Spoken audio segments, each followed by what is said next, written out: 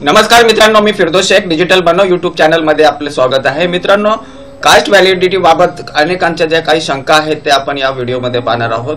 Important study comments करतायत sir मला कुणबीसाठी काय डॉक्युमेंट्स लागतील? हे बघा जर तुम्हाला कॉम- कुणबीचं जर कास्ट सर्टिफिकेट किंवा कास्ट व्हॅलिडिटी सर्टिफिकेट पाहिजे असेल तर तुम्हाला तुम्ही कुणबी समाजाचे आहे याच्या बाबत तुम्हाला पुरावे द्यावे लागतील. आता तुम्ही कुणबी जे आहे ते ओबीसी कॅटेगरीमध्ये येतो म्हणून तुम्हाला जे आहे तुमचा मानक दिनांक हे एकोणीसशे सदुसष्ट आहे. तर तुम्हाला एकोणीसशे सदुसष्ट पूर्वीचे जे आहे ते पुरावे लागतील. आता त्या पुराव्यामध्ये म्हणजे तुम्ही शैक्षणिक पुरावे देऊ शकतात किंवा तुम्ही महसुली पुरावे म्हणजे तुम्हाला जे आहे एकोणीसशे सदुसष्ट पूर्वी महाराष्ट्राचे तुम्ही कायम रहिवासी होते आणि तुमची जी कास्ट आहे ती एकोणीसशे सदुसष्ट पूर्वीची त्याच्या बाबतीत तुम्हाला डॉक्युमेंट्स लागतील ते शैक्षणिक किंवा तुम्ही महसुली पुराव्याच्या ने तुम्ही ते सिद्ध करू शकता. जर तुमच्याकडे हे म्हणजे तुमच्या जर वडिलांच्या आजोबांच्या पंजोबांच्या नावाच्या म्हणजे समोर जर कुणबी असेल हिंदू कुणबी किंवा कुणबी हिंदू असं असेल तर तुम्ही ते कास्ट सर्टिफिकेट किंवा कास्ट व्हॅलिडिटी सर्टिफिकेट काढू शकता.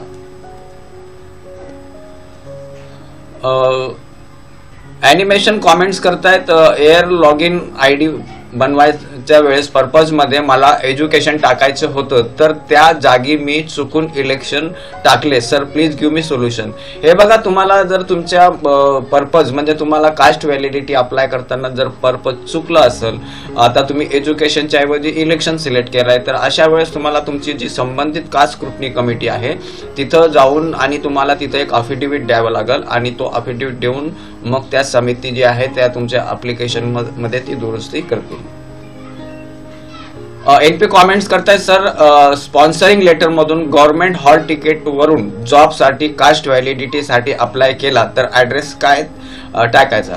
हे बघा ज्यावेळेस आपण म्हणजे कास्ट व्हॅलिडिटी साठी अप्लाय करतो त्यावेळेस आपण कव्हरिंग लेटरमध्ये आता आपल्याकडे हॉल तिकीट आपण तिथं अपलोड करणार आहे कवरिंग लेटरच्या ठिकाणी. परंतु ऍड्रेस साठी आपल्याला ती जाहिरात ती जी आहे त्या जाहिरातीमध्ये आपल्याला कोणत्या ऑफिसला आपण म्हणजे अप्लाय करतो कोणत्या पदासाठी अप्लाय करतो त्या जाहिरातीमध्ये लिहिलेला असतो. आणि त्या जाहिरातीच्या अनुसार म्हणजे तुम्हाला तिथं ऍड्रेस लिहायचा आहे. आता गव्हर्नमेंटचे ऑफिसेस आहेत त्यांचा मोठा ऍड्रेस नसतो. जसं आता फॉर एक्झाम्पल आता समजा महाराष्ट्र आता पोलीस भरती चालू आहे. तर आता सी पी ऑफिस मुंबई असं पण म्हणजे एवढा पण लिहिलं तरी तेवढाच चालतंय. त्याच्यामध्ये काही प्रॉब्लेम म्हणजे तुम्हाला काय डिटेल ऍड्रेस रोड आणि लँडमार्क वगैरे हे द्यायची गरज नसते. बंटी वाईक जर कॉमेंट्स करतायत सर माझ्याकडे पंजोबाचा प्रूफ आहे पण त्याच्यावरती सरनेम त्या जागी कास्ट लिहिलेली आहे एस सी कास्ट तर हे बघा तुमचा जो म्हणजे पूर्वी समजा जर असे ना- तुमच्या नावामध्ये क- आडनाव म्हणजे त्याचा जातीचा उल्लेख असेल तर चालतंय त्याच्यामध्ये. आणि हे गाईडलाईन आहे. बघा जाती संदर्भात समाजात ज्या रूढ नावाने आड नावाने जातीने संबोधित अशा नोंदी जुन्या अभिलेखात अभिलेखात लेखित अस झाल्याच्या आढळल्यास जातीच्या बाबतीत काही अपभ्रंशित उल्लेख होत असल्यास तशाच जुन्या नोंदी उदाहरणार्थ लेवा पाटील लेवा पाटीदार कुन कुणबी अश अशा जुन्या नोंदी इतर पुराव्याशी सुसंगता तपासून जाती प्रमाणपत्र योग्य निर्णय सक्षम अधिकाऱ्यांनी घ्यावा. म्हणजे त्याच्यामध्ये तुम्हाला काही अडचण येणार नाही. परंतु तुम्हाला जे आहे जरा तुमची वंशावळ सविस्तर करा. जास्तीत जास्त तुमचे ब्लड रिलेटिव्ह जे आहे त्या वंशावळमध्ये कव्हर करून आणि त्या संबंधाचे पुरावे देण्याचा प्रयत्न करा. होऊन जाईल काय प्रॉब्लेम नाही. आता राजेंद्र सोनवणे कॉमेंट्स करतायत सर मूळ जात प्रमाणपत्र हरवले आहे. त्याची व्हॅलिडिटी झालेली आहे. नवीन जात प्रमाणपत्र काढून नोकरीसाठी व्हॅलिडिटी करता येईल का? व्हॅलिडिटीसाठी अर्ज करता येईल का? हे बघा जर तुम्ही म्हणजे तुमचं कास्ट सर्टिफिकेट हरवलं असेल तर तुम्हाला व्हॅलिडिटी म्हणजे जी जुनी मिळालेली आहे म्हणजे ज्या कास्ट सर्टिफिकेटवर आणि तोच कास्ट सर्टिफिकेट तुमचा हरवलेला आहे. आता तुम्हाला हे बघा तुम्ही तुमची जी जात आहे ती सिद्ध करण्यासाठी कास्ट सर्टिफिकेट काढता. कास्ट सर्टिफिकेट हा प्रोव्हिजनल सर्टिफिकेट असतो. आणि तो प्रोव्हिजनल सर्टिफिकेटला ज्यावेळेस तुम्हाला वैधता प्रमाणपत्र पाहिजे असतो तुमची जी कास्ट आहे तुमचं कास्ट सर्टिफिकेट आहे त्याला वैधता प्रम- मिळवण्यासाठी तुम्ही कास्ट व्हॅलिडिटीसाठी अप्लाय करता. आणि ज्यावेळेस तुमची कास्ट म्हणजे ही वैध होऊन तुमचं कास्ट व्हॅलिडिटी सर्टिफिकेटला वैधता प्रमाणपत्र देण्यात येतो. आणि त्या वैधता प्रमाणपत्रामध्ये तिथं क्लिअर लिहिलेला असतो. बघा ह्याच्यामध्ये कसं म्हणजे त्यांनी वर्डिंग केले नाव there for the committee hereby सर्टिफिक certifies that caste claim is found to be correct in the caste uh, certificate bearing number. म्हणजे इथं तुमचा कास्ट सर्टिफिकेट नंबर येतो कोणी इश्यू केलेला आहे तो येतो डेटेड येतो आणि त्याचा डिस्ट्रिक्ट कोणता आहे आणि त्यात तुमचं नाव.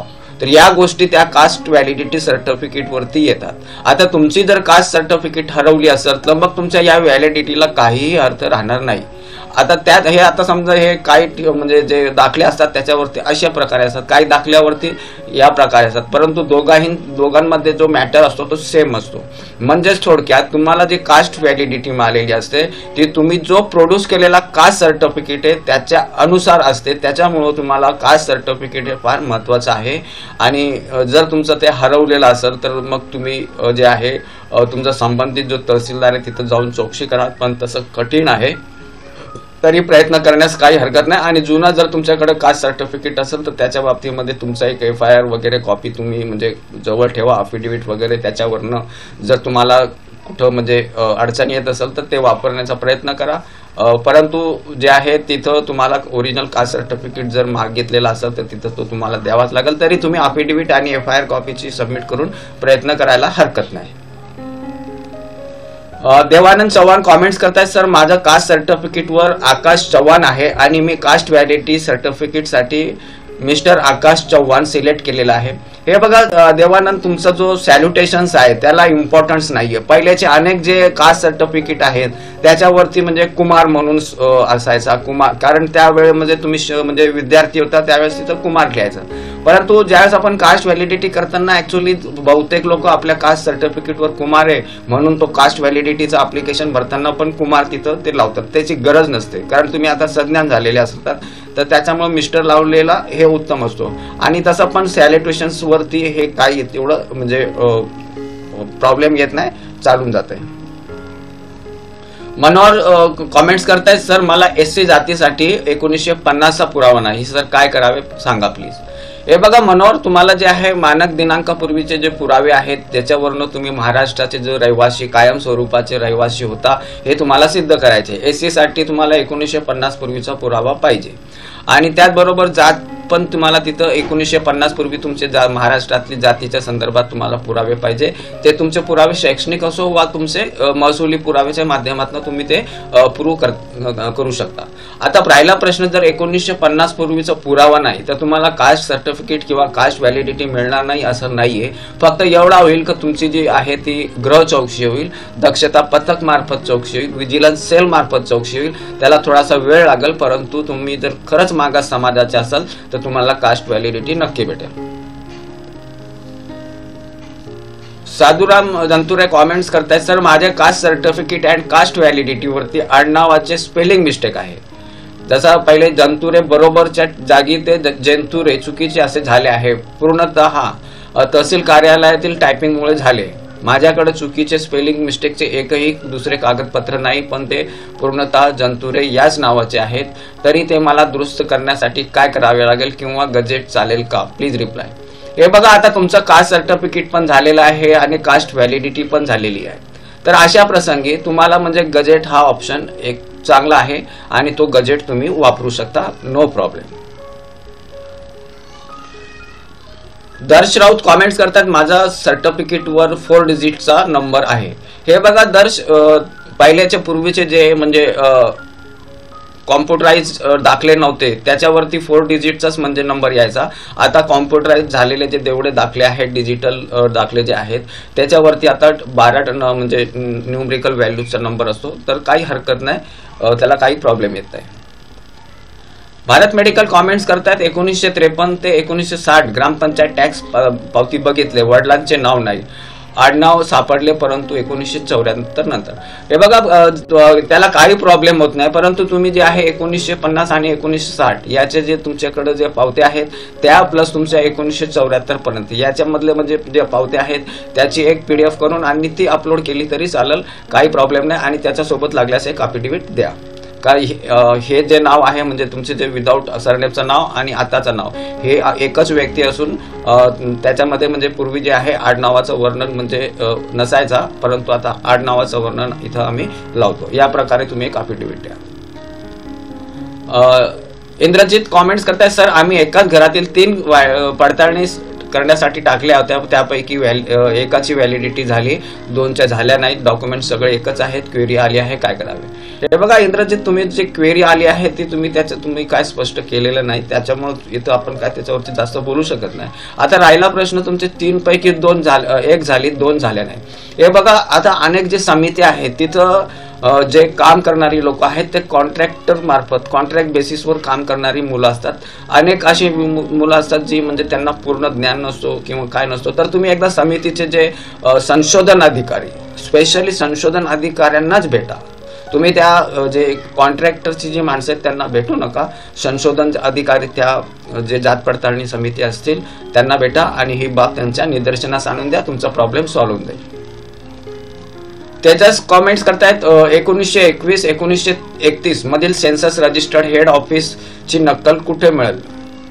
तर हे बघा हे जे सेन्ससचे जे तुमचा जो government of India ministry of home affairs decorative and census operation या डिपार्टमेंट जो महाराष्ट्राचा जो आहे बेलॉट स्टेटमध्ये आहे तर त्या तिथं जाऊन तुम्हाला ती अप्लाय केल्यानंतर तुम्हाला त्या सीडीमध्ये ती जी माहिती आहे ती तुम्हाला जो काय म्हणजे ग- शासकीय फी आहे ते भरून तुम्हाला ते मिळेल.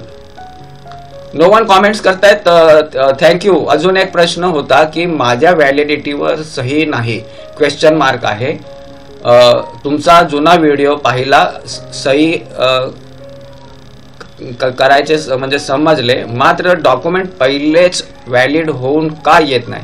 हे बघा नो वन तुम्ही आता जे कॉमेंट्स केलंय तर तुम्ही जी कास्ट व्हॅलिडिटी तुमच्या ईमेलवर आलेली असेल किंवा तुमचं जो लॉग इन आय डी आहे त्याच्यातनं तुम्ही ती डाउनलोड केली. आता त्या डाउनलोड केल्यानंतर तुम्ही ज्या कॉम्प्युटरवर त्यातला म्हणजे जर ती व्हेरीफाय नसेल सिग्नेचर व्हेरीफाय नसेल तर तुम्ही ती जे आपण प्रोसेस करतो त्या प्रोसेसनुसार तुम्ही व्हॅलिड करून घेतली. परंतु तुम्ही जर तीच फाईल तुम्ही दुसऱ्या ईमेलवर तुम्ही दुसऱ्या कॉम्प्युटरवरनं दुसऱ्या नेटवर्कवरनं जर तुम्ही डाउनलोड करून केला तर पुन्हा तुम्हाला तिथं प्रॉब्लेम येईल. आणि मात्र एकदा तुम्ही हे तुमच्या कॉम्प्युटरवरती समजा फाईल तुम्ही डाउनलोड केली आणि त्या त्याला व्हॅलिड केली तर मग पुन्हा प्रॉब्लेम येत नाही. इव्हन तुम्ही दुसऱ्याचा पण जर समजा तिथं सर्टिफिकेट डाउनलोड केला तुमच्या कॉम्प्युटरवर एकदा तुम्ही पूर्वी व्हॅलिड केल्यानंतर पुन्हा एकदा डाउनलोड केल्यानंतर दुसऱ्याचं पण सर्टिफिकेट तुम्हाला तिथं पुन्हा व्हॅलिडिटी व्हॅलिड सिग्नेचर करायची गरज नसते. तर ते डिपेंड असतो आपल्या वेगवेगळ्या कॉम्प्युटरवरती वेगवेगळ्या नेटवर्कवरती त्याला आपल्याला व्हॅलिड करायचे असते.